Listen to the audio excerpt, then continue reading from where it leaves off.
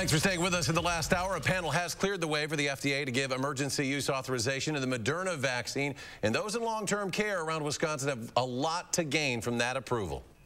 That is the vaccine that will go to nursing and assisted living homes around the state through a federal program. Our Naomi Kowles explains.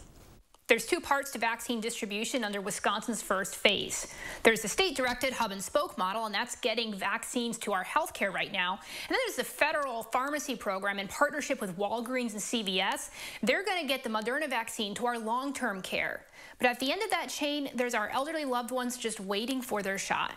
She has very few people in her world, in fact, none other than myself. For 45 years, retired UW professor Paul Williams counted on his secretary. I depended on her all my professional life, and now I can uh, give back. Now, as Veronica King's close friend and healthcare power of attorney, Paul says neither of them can wait until she has the vaccine. Yeah, And she's very much for that. More than a quarter of COVID-19 deaths in Wisconsin happened in long-term care.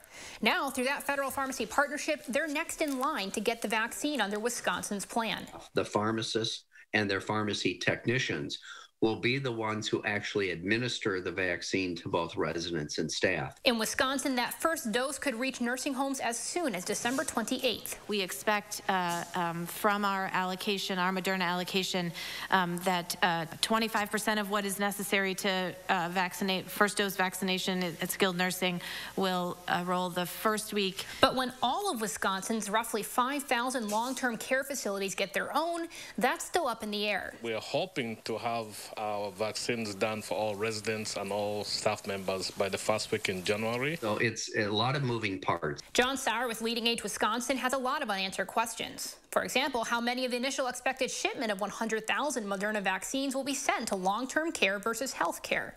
It's a it's a mammoth uh, undertaking, and it is full of logistical complexities. But for a population hit hardest by the virus, at least now there's hope. And I promised them we're going to have a big party once, once uh, COVID is done. And at St. Mary's Care Center, Paul says Veronica is just hanging on to seeing her son again. She's living for that. Reporting for News 3 Now, I'm Naomi Kowles.